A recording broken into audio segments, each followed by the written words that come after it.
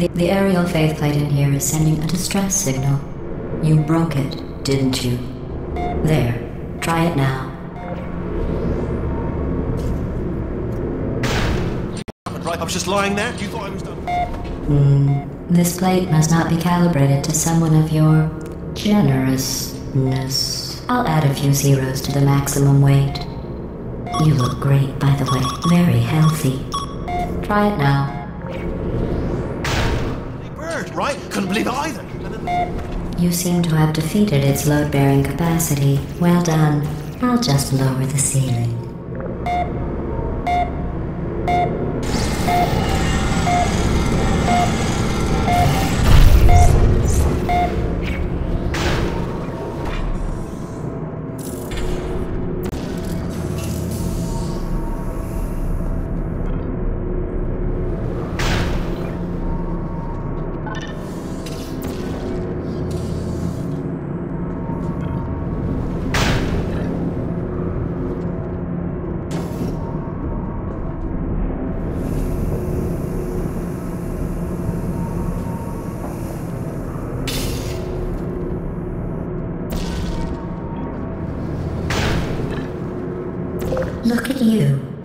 Through the air majestically, like an eagle, piloting a blimp.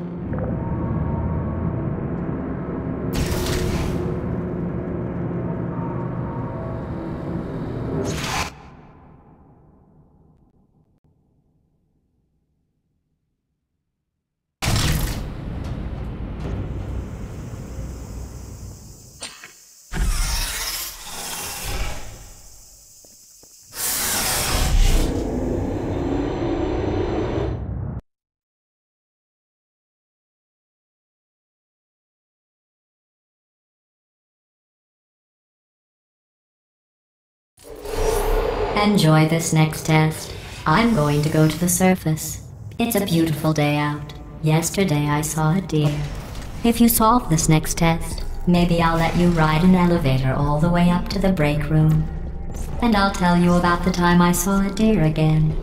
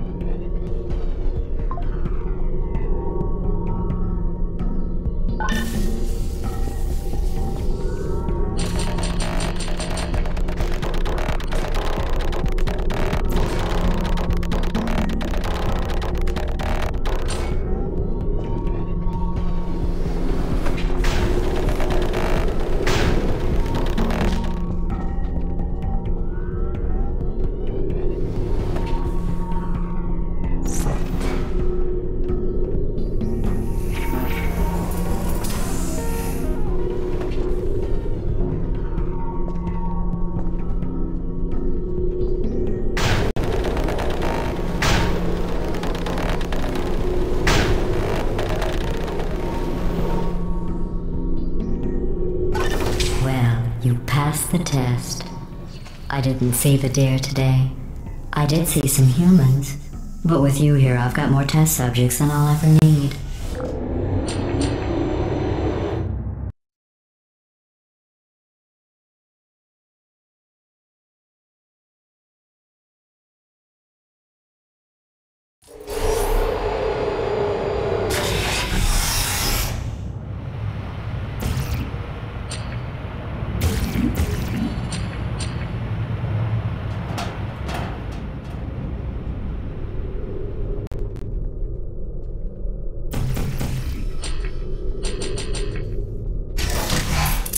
These bridges are made from natural light that I pump in from the surface.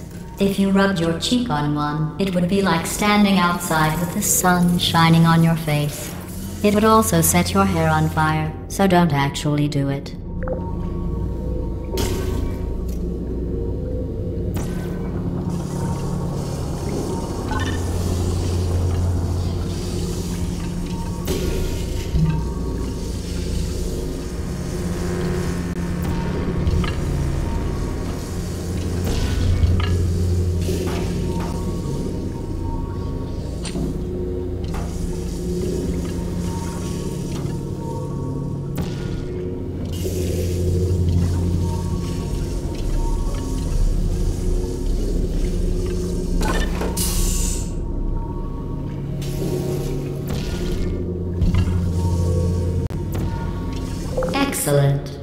You're a predator, and these tests are your prey.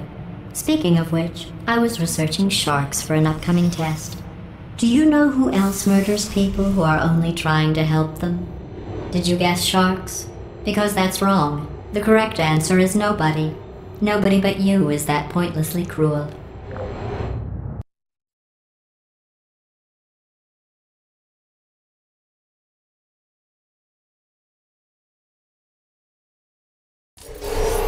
Good news. I figured out what to do with all the money I save recycling your one room full of air. But when you die, I'm going to laminate your skeleton and pose you in the lobby. That way, future generations can learn from you how not to have your unfortunate bone structure. Perfect. The door's malfunctioning. I guess somebody's going to have to repair that too. No, don't get up. I'll be right back. Don't touch anything.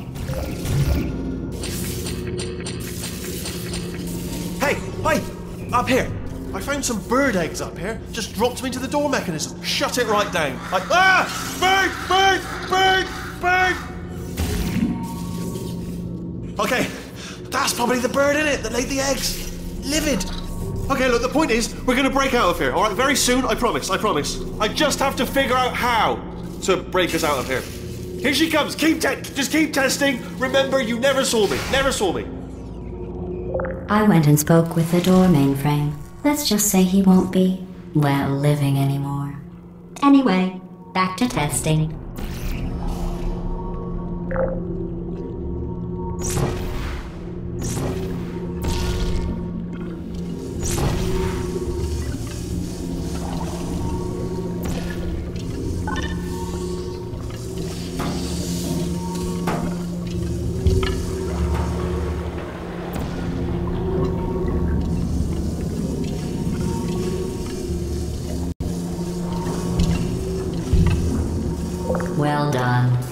Fact, you did so well, I'm going to note this on your file in the commendation section.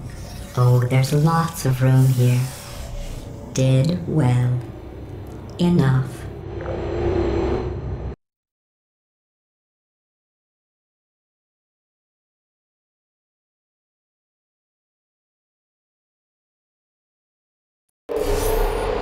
This next test involves turrets. You remember them, right? They're the pale spherical things that are full of bullets. Oh, wait, that's you in five seconds. Good luck.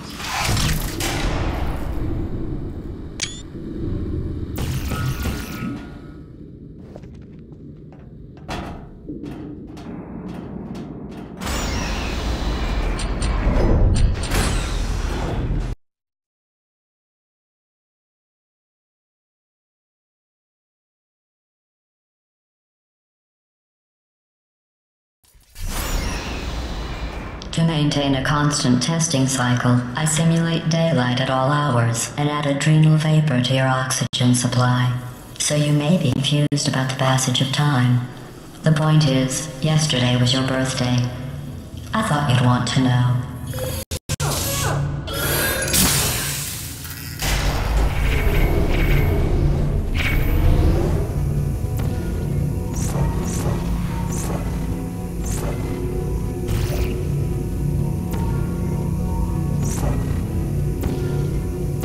You know how I'm going to live forever, but you're going to be dead in 60 years?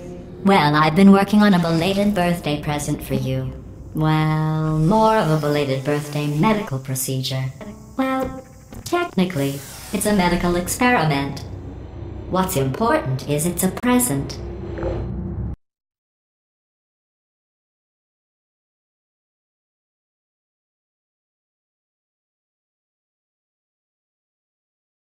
Jumpsuit you're wearing looks stupid.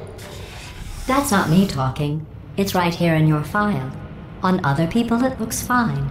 But right here, a scientist has noted that on you it looks stupid.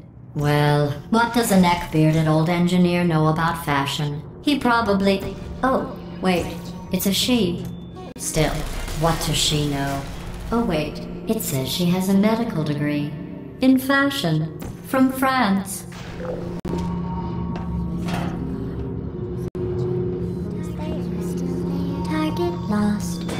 You still there?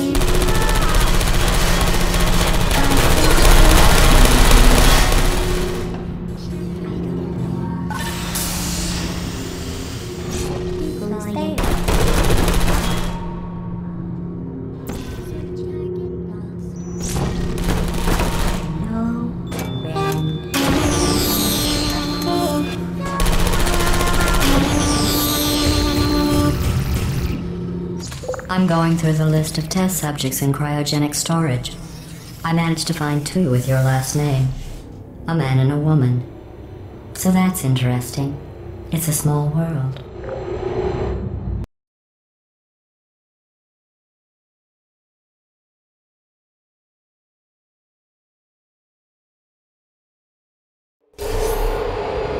I have a surprise waiting for you after this next test. Telling you would spoil the surprise. So I'll just give you a hint. It involves meeting two people you haven't seen in a long time.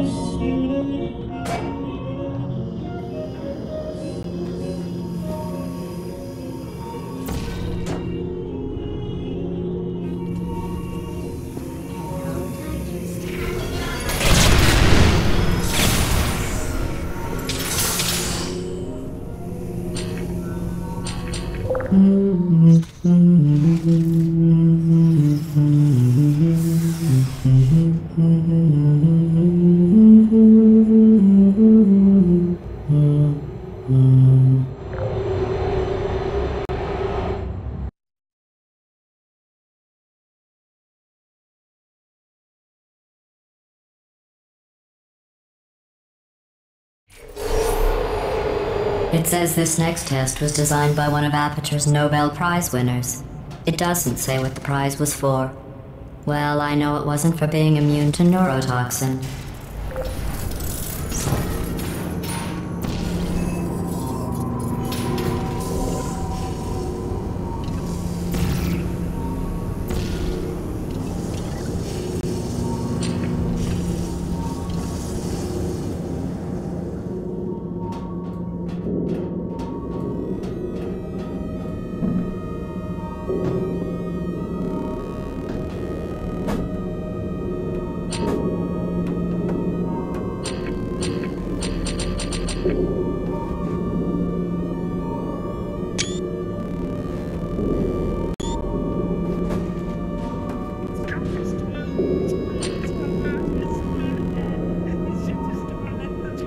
Yeah.